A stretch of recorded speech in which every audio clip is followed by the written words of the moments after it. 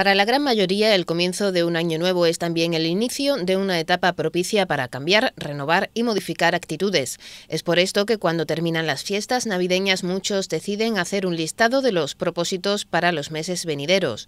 Quizás uno de los más ansiados es perder esos kilos de más que hemos cogido con las copiosas comidas navideñas y la actividad física es una de las opciones que ofrecen los gimnasios. Crearte el hábito de por lo menos una horita al día hacer algo de, ejercicio, ya bien sea en tu casa, saliendo a correr, saliendo a caminar, algo de movimiento. Y luego los hábitos alimenticios, intentar comer sano, comer saludable, sin hacer locura, no hace falta ponerte a régimen estricto de hoy para mañana, ¿vale? Y los resultados llegan. Para conseguir que nuestro cuerpo vuelva al estado en el que se encontraba antes del atracón navideño es fundamental hacer ejercicio y mantener una dieta equilibrada.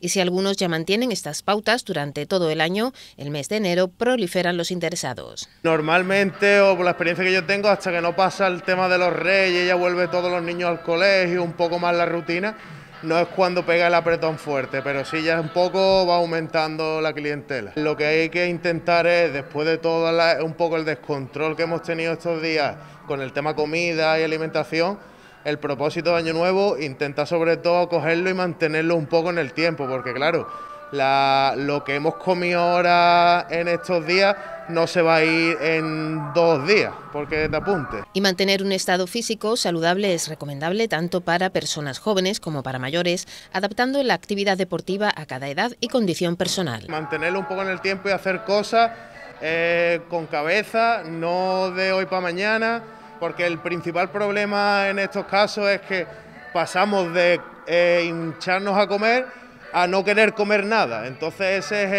el, truco, el proponernos poco a poco ir eh, tomando unos hábitos de vida saludable. Ahora, lógicamente, la economía manda y no todo el mundo tiene acceso a lo que es un nutricionista o un profesional.